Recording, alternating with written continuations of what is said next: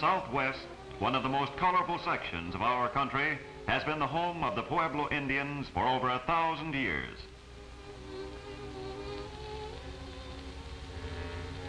In the old days, the Indians built their homes in canyon walls and on the sides of cliffs, for these were easily defended against warlike neighboring tribes.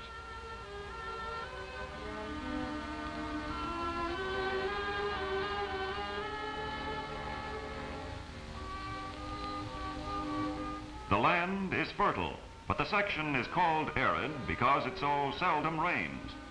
Long ago, the Indians learned that they must water their fields themselves if good crops were to grow. They built rock dams in creeks to direct the water into their canals.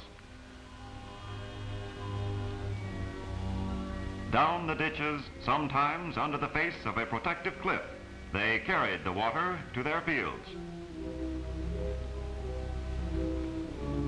Simple, yet effective, and irrigation took the place of abundant rain.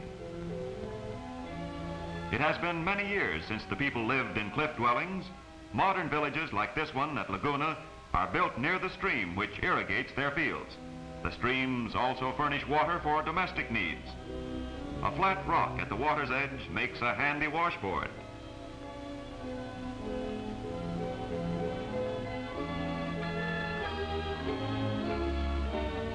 But there is time for fun and play, for the life of a Pueblo child is a happy one.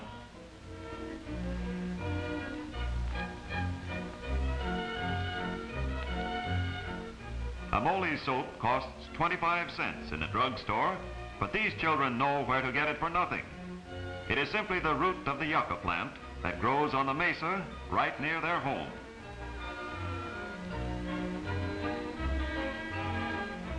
Pounding is the only preparation that the amole needs.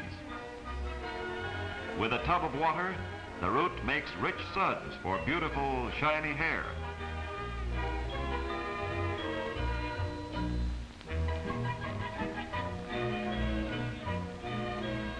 For many years, Pueblo women have used round adobe ovens for their family baking. Even the smallest children help, for the sharing of responsibility is an important part of Indian childhood.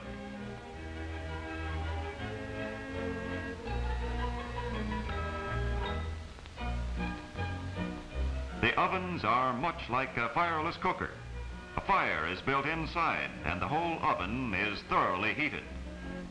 When the proper temperature is reached, the ashes and coals are swept out and the bread is placed inside.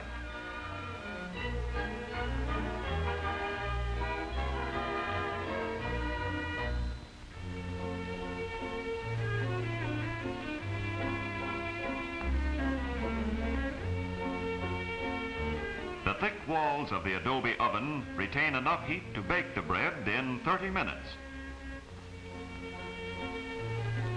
There is no thermostatic control on this oven, but the gentle oven heat bakes a delicious loaf of bread.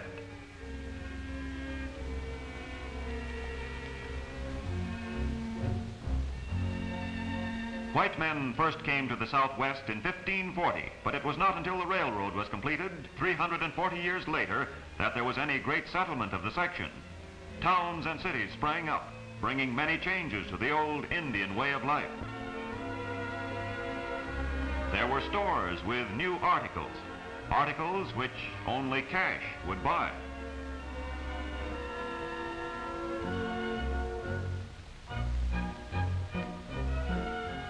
Many Pueblo people found that they could turn their ancient crafts into cash. Pottery, once made only for their own use, is built up from a mixture of clay, water, and white powdered rock.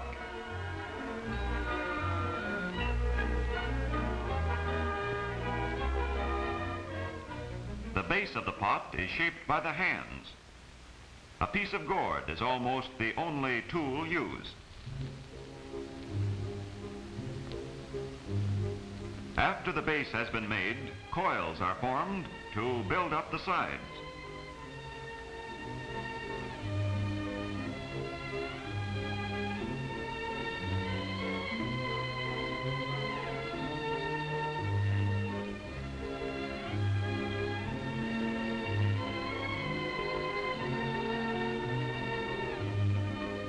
Rough piece of pottery is transformed into a smooth, polished vessel by painting it with a mixture of clay and water. Then rubbing the painted portion with a smooth pebble or stone. Beautifully polished, the vessels are ready for firing. Firing hardens the clay and makes the vessels more durable.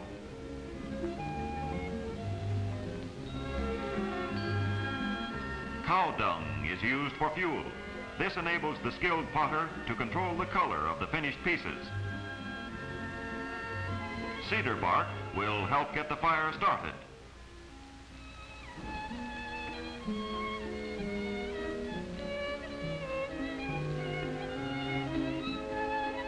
An intense heat is created in these fires, often reaching 1200 to 1500 degrees Fahrenheit.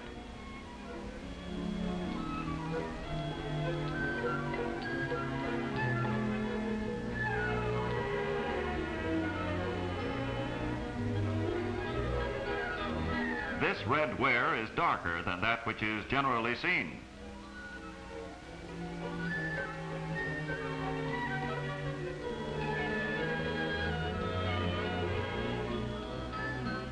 Weaving, too, had a commercial value, and some of the men who had woven belts only for their families now wove them to sell.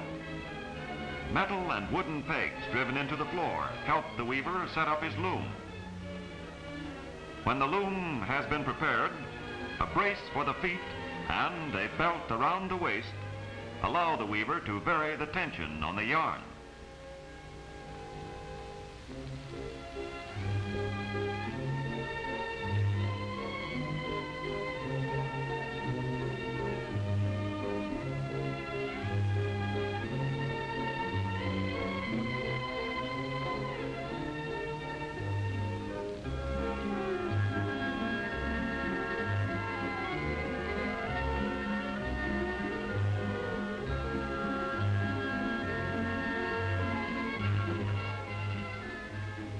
These products find ready buyers at the Indian market in Santa Fe.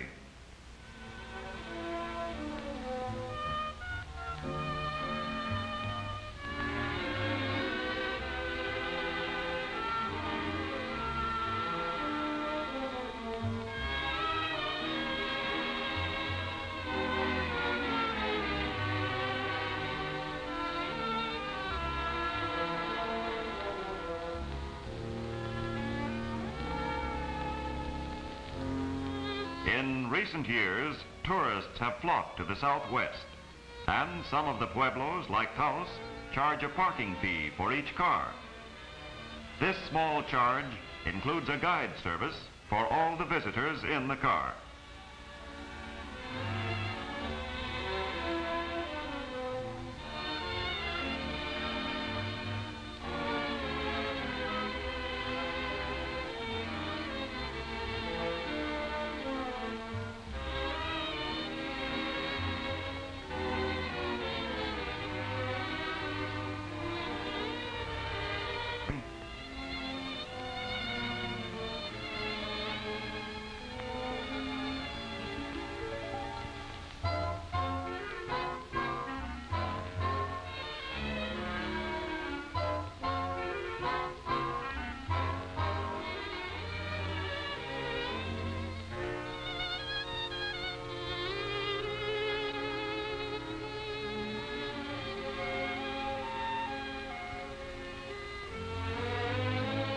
One of the most interesting things to be seen in the village is the bow and arrow game, a sport designed to keep the eye sharp for shooting.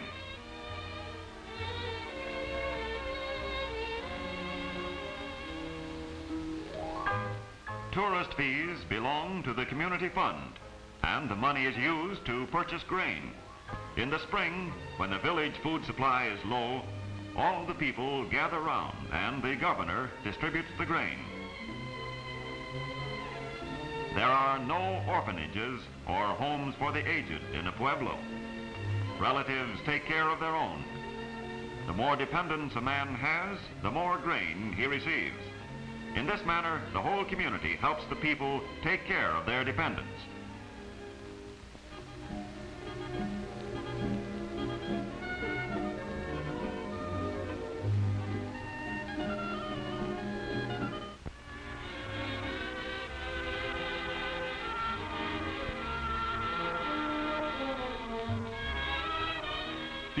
Realize the good use which is made of the guide money and camera fees charged by Pueblo.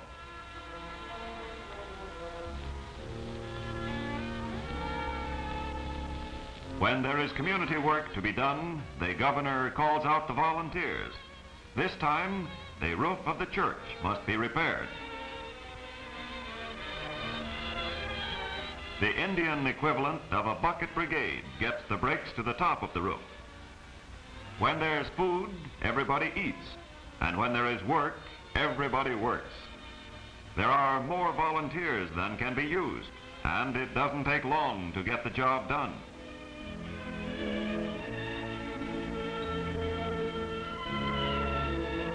In sharp contrast to the simple life of the Indians is the complex development of cities which have sprung up nearby. There are thousands of new inhabitants in the southwest. Naturally, these people must have food. New fields are necessary to furnish food for these new people, and these too followed the Indians' way of irrigating. Soon there were many new farms and fields in the midst of the relatively barren range. Fields demanded more and more water for irrigation. Creeks dwindled to a mere trickle. There just wasn't water enough to go around. Corn was their food and there was no water for it. Pueblo people are represented by their council, and this governing body takes up the serious problem of water shortage.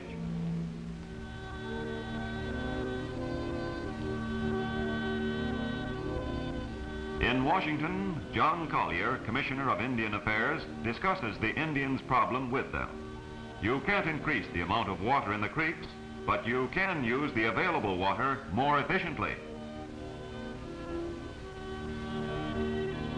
When government funds are available, concrete dams are built to replace the less efficient rock dams. Reservoirs store spring rains until the water is needed in the drier summer months. The flumes which carry the water across the gullies and arroyos were once hollowed out of logs. Many of them leaked rather badly. Some of them have been replaced with timber and steel ones from which not a drop of water is lost.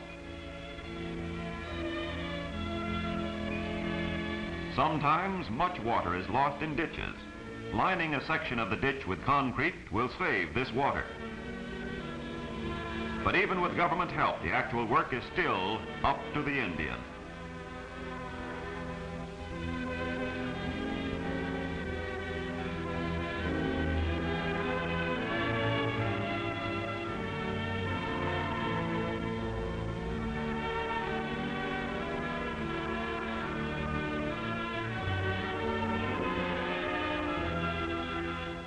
School system of the Indian Service keeps the small children close to home.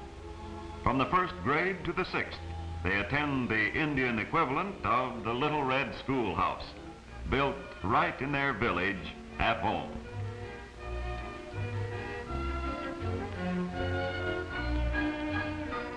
The murals which decorate the walls, even the studies, are related to real experiences and work in the fields. For the Pueblo children, like their fathers before them, will grow up to be farmers. And, of course, there's a little fun on the side.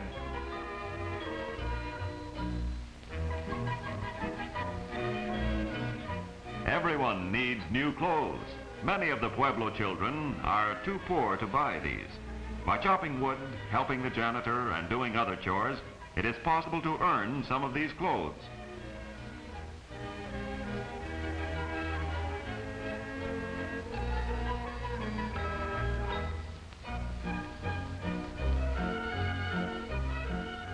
The children are credited with 25 cents an hour for their work, and when a new pair of shoes has been earned, they usually know it. Indian assistants employed at the school keep the record and issue the supplies.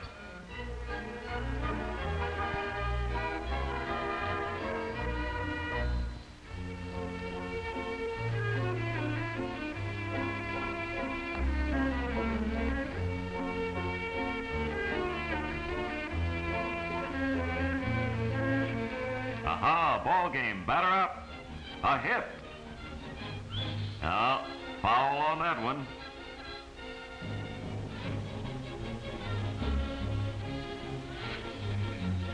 Hey, that'll be a tight infield play. Safe at second, new shoes and all.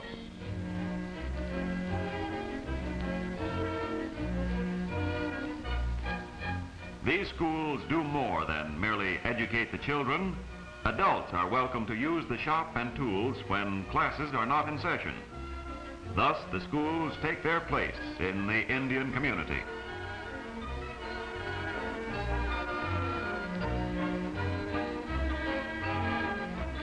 During the summer months, the boys help in the fields, and they must get out early to feed the horses.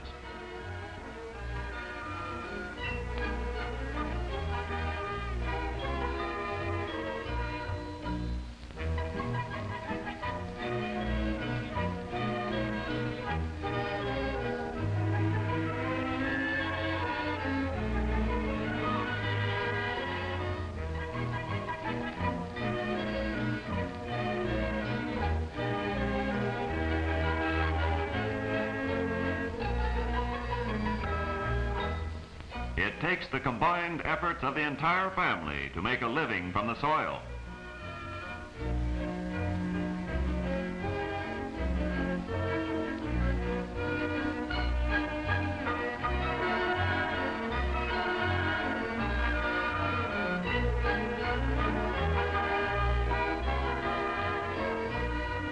Complex problems in modern farming are tackled in the boarding schools.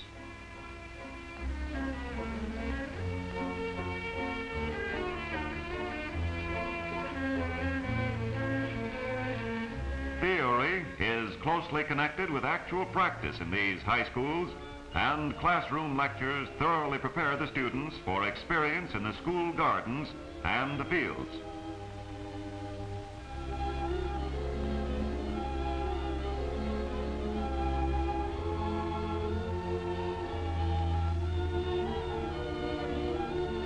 When school is over and the children go home, they face the real problem of making a living and getting their food from the soil. The experience of their elder people, combined with their school work, rounds out their education. Here now, that's the way it should be done. See? And now let's see you do it.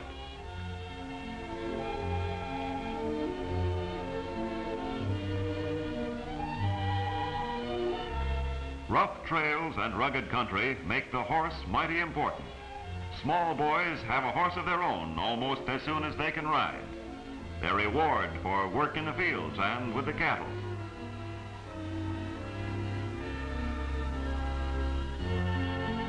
And now here you see the first four-wheel brakes.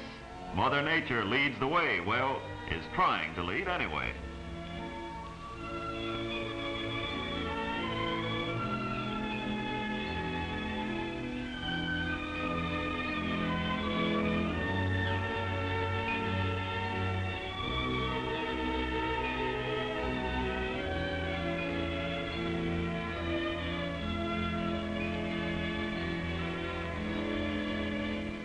Cattle increase the Indian's income and furnish him with meat. But the Pueblo Indian is still principally a farmer. A farmer who uses the most modern methods of irrigation and yet still retains a close religious contact with his land. A contact like that expressed in the corn dance, a prayer for abundant crops and rain.